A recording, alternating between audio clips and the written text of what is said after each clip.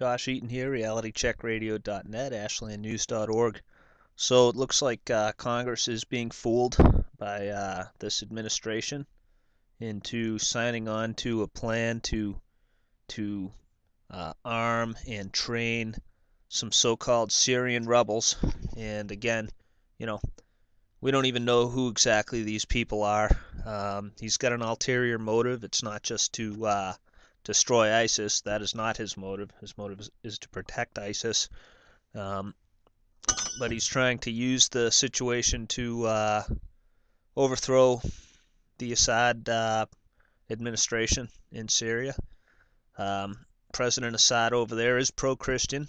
Um, they very friendly toward Christians. I'm not sure if he's Christian himself, but uh, basically, if you check out my other uh, video blog titled ISIS, and I explain, give a rundown of how that army came about.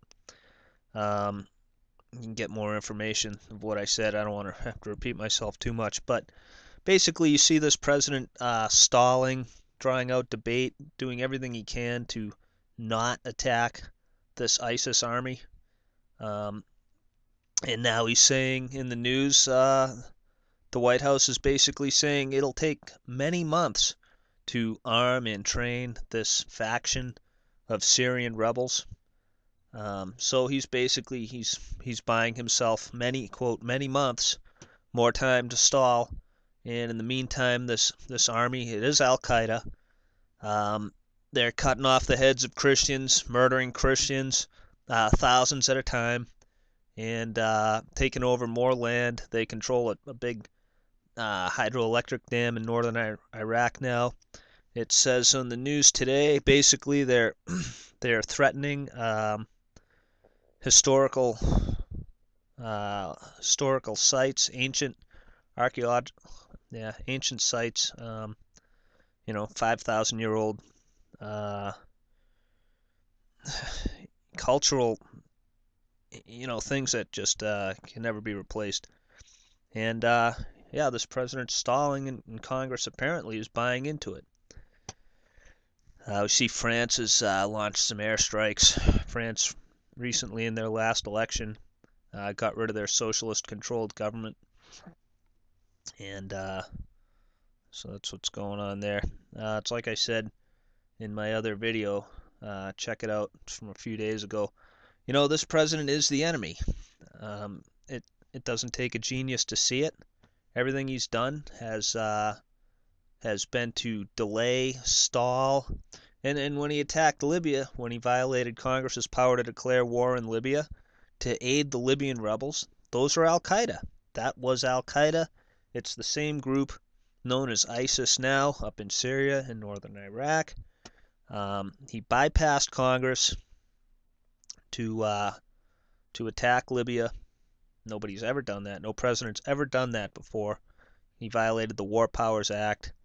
Um, you know, George Bush, you might be saying, well, George Bush did it. No, George Bush, Bush uh, he followed the War Powers Act. He got approval from Congress within 60 days. Obama never did that, and in fact, he said that he didn't need to go through Congress. Leon Panetta stood on the floor of the Senate and said, uh, "We don't need congressional approval, because we got approval from the UN," and that is treason, treason, treason, right there. Uh, he tried to do the same thing in Syria. The Syrian rebels, I don't know what group exactly uh, he's talking about now, but the Syrian rebels, they are Al Qaeda. It started off with Al Qaeda in Iraq. They moved down to Egypt. They were the Egyptian protesters. Egyptian military basically won, and their little plan didn't work there. Then they, uh, Al Qaeda in Iraq slash Egyptian protesters moved over to Libya, became the uh, Libyan rebels. Excuse me, and uh, this president attacked a country to support our enemies, to support Al Qaeda. That was uh, discovered by West Point Center for Combating Terrorism documents that, where they matched up names from uh, the leadership of Al Qaeda in Iraq with the leadership of the Libyan rebels. Other countries found out about that. They withdrew their support attacking Libya. and it is what it is. Um, like I said, check out the other video. I don't want to have to repeat myself too much. But that's what it is. Um, he's delaying, stalling, do, doing everything he can to protect this ISIS army. Um, you know, he he said he let it slip during an interview one time. This president did. He uh, he said he's a Muslim. He basically said my Muslim faith, and then the, the interviewer had to say, "Well, don't you mean your Christian faith?" And he basically did some double talk. Well, oh yeah, well I meant blah blah blah. You know, you can look that up on YouTube. Um, but that's the fact, you know, and and it's not just uh, well, there's more to it, but I'll have to make, you know, I'll, there'll be time for make more, more blogs for that. So that's pretty much it. Uh, I hope Congress wakes up, discovers what's going on. Um, you know, Congress already has enough uh, against Eric Holder to arrest him and hold him in contempt for lying to Congress. Uh, they have enough to arrest Lois Lerner, the head of the IRS, for targeting conservatives. Uh, there's a lot of scandals. There's you know, Operation Fast and Furious, or um, well, I'll be making a video about that, where where Eric Holder and this president's administration basically um, they basically okayed gun sales uh, to Mexican cartel members, and you know, since then a number of people have been killed by those exact same weapons, including a border patrol agent.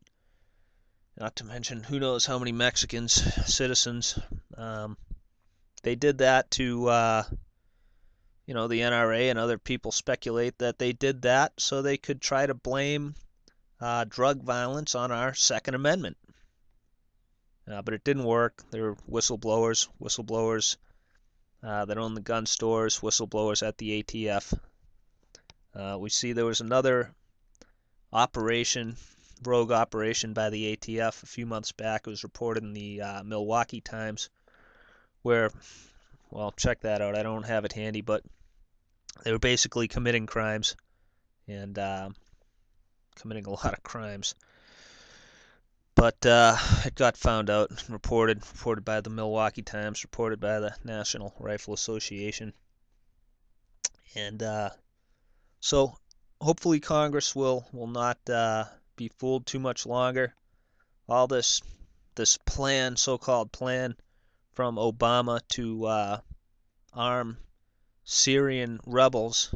Uh, again, he's just he's he's confusing the situation and providing more aid to our enemies by doing that. This group of Syrian rebels are not our friends.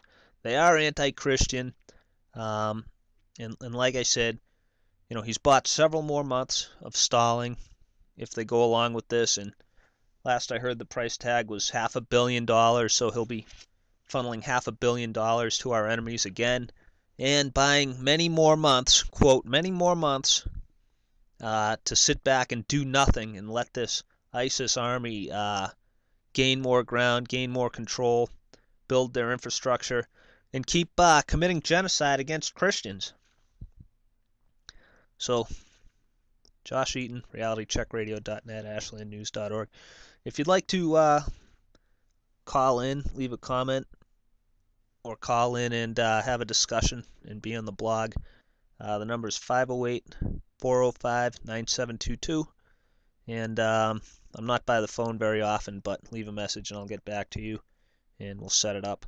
Or if um, you can leave a comment at ashlandnews.org or you can leave a YouTube comment, I'll try and uh, read through them and, and address some questions and comments.